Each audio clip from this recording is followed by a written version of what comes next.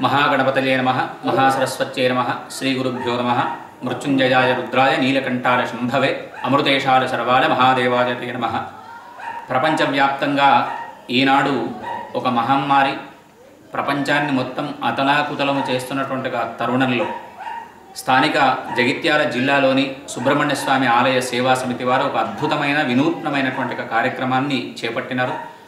అయితే గతంలో ఈ దేవాలయం వాళ్ళే కోటి కుంకుమార్చన అని ఇంటి నుంచే ఇంట్లోనే ఎవరింట్లో వాళ్ళు ఎట్లాగైతే కుంకుమార్చన చేసినారో అదే విధంగా మాస శివరాత్రి మంగళవారం ఇరవై ఒకటి నాలుగు రెండు వేల ఇరవై మంగళవారం రోజున ఉదయం తొమ్మిది గంటలకు మన ఇంట్లో మనమే మన ఇంట్లో ఉండేటువంటి ఒక దేవాలయంలో అంటే ఇంట్లో ఉండేటువంటి ఒక దేవుళ్ళల్లో ఒక గణపతి విగ్రహాన్ని లేదా పోక చెక్కను.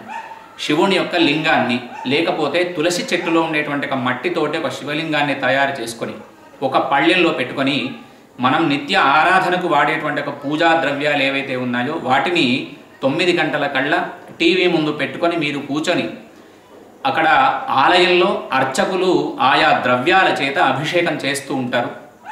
మీరు మాత్రం ఇంట్లో అక్కడ పాలు పోస్తే మీరు నీళ్ళు పోస్తూనే ఇవి పాలనుకోమని మనసులో భావన చేసుకోవాలి. పెరుగు పోస్తే పెరుగునే మనసులో భావన చేసుకోవాలి. భస్మం పోస్తే భస్మాన్ని చక్కెరను పోస్తే చక్కెరను చెరుకు రసం పోస్తే చెరుకు రసాన్ని.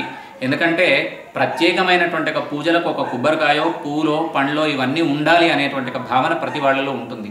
కానీ ఈనాటి తరుణంలో కేంద్ర రాష్ట్ర ప్రభుత్వాలు నియమించినటువంటి ఒక నిబంధనల ప్రకారం ఎటువంటి ఆడంబరం లేకుండా అందరం కలిసి మమేకమై ఒకే ఆలయంలో ఇంతమందిని కూర్చొని చేసుకోవడం సాధ్యం కాదు కనుక. అది ఒక కారణం.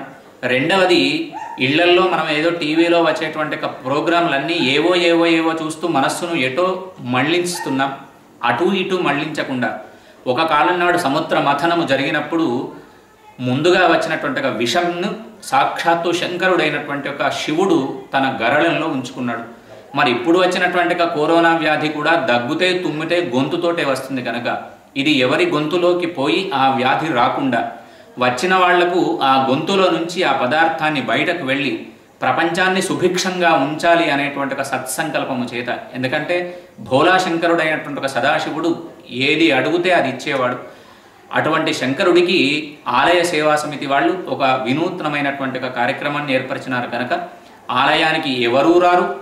ఆలయంలో ఏ భక్తులు ఉండరు ఆలయంలో ఎటువంటి తీర్థం కానీ ప్రసాదం కానీ ఇవ్వడం జరగదు. ఎవరి ఇంట్లో వాళ్ళే ఆ పళ్ళెల్లో పెట్టుకున్నటువంటి ఒక వినాయకుడికి ముందుగా తర్వాత శంకరుడికి అభిషేకాన్ని అక్కడ అయ్యగారులు మనకు సూచన చేస్తుంటారు. ఎవరో కాదు. మరి ఈనాడు జగిత్యాల జిల్లాలో ఒక ఆధ్యాత్మిక తరంగాలు రేపెత్తించినటువంటి అందరికీ ఆధ్యాత్మిక గురువైనటువంటి నంబి వేణుగోపాలాచార్య కౌశిక గారి ప్రత్యక్ష పర్యవేక్షణలో అద్భుతమైనటువంటి కార్యక్రమం జరుగుతుంది కనుక ఈ కార్యక్రమాన్ని మన ఇళ్ళలో ఉదయం తొమ్మిది తొమ్మిది కల్లా మన నిత్యకర్మలన్నింటినీ నెరవేర్చుకొని కుటుంబ సభ్యులందరూ కలిసి ఒకే దగ్గర కూర్చొని అక్కడ జరిగేటువంటి యొక్క పూజా ద్రవ్యాల చేత జరిగే అభిషేకాన్ని చూస్తూ ఆ ద్రవ్యాన్ని మనమే శివుడి పైన పోస్తూ భావన చేసుకొని మన ఇంట్లో ఉండేటువంటి పూజా ద్రవ్యాలు ఏముంటే వాటితో ఏవి లేకపోతే కేవలం నీళ్ళతో అభిషేకం చేసి అభిషేకం అయిన తర్వాత కూడా రెండు అక్షతలు ఇంట్లో ఉండేటువంటి ఒక శనగపప్పు చక్కరి శంకరుడికి నైవేద్యం పెట్టి ఆ అభిషేకం చేసినటువంటి ఒక తీర్థమే మనకు తీర్థం. అభిషేకానికి నైవేద్యం పెట్టిందే మనం ప్రసాదంగా భావించి ఎటువంటి ఆడంబరాలు లేకుండా ఎవరు ఆలయానికి రాకుండా మన మన ఇళ్ళలోనే కూర్చొని శివుణ్ణి ఆరాధన చేస్తే మన కంఠంలోకి ఆ వ్యాధిని రానివ్వడు. ఎవరికైతే ఆ కంఠంలో వచ్చిన వ్యాధి ఉందో అది నిర్మూలన జరిగి ఈ లాక్డౌన్ నుంచి లాక్ అవుట్కు బయటకు వచ్చి ప్రపంచమంతా సుభిక్షంగా ఉండాలి అనేటువంటి ఒక సత్సంకల్పం ద్వారా దీంట్లో ప్రత్యేకతలు ఒక మూడు ఉన్నాయి. ఒకటి మనం జరుపుకున్నటువంటి ఒక ఉగాది అందరం కలిసి జరుపుకోలేదు. అదొక మనసులో ఒక వేదన. ఏ పూజ చేయలేదు ఏ దేవాలయానికి వెళ్ళలేదు అని. తర్వాత వచ్చినటువంటి ఒక శ్రీరామనవమి ఎక్కడికి వెళ్ళలేదు. తర్వాత వచ్చిన హనుమ జయంతి ఎక్కడికి వెళ్ళలేదు. ఇది అన్నిటితో కూడుకున్నటువంటి ఒక పండగ. అద్భుతమైన రోజు ఆ రోజు మాస శివరాత్రి శివుడికి ఇష్టమైంది. ఒకటి మంగళవారం సుబ్రహ్మణ్య స్వామికి ఇష్టమైన రోజు. రెండు మూడవది మొదటి మాసం చైత్ర వసంత నవరాత్రులు ముందుగా ఆరాధన చేసేటువంటి ప్రకృతి మాత.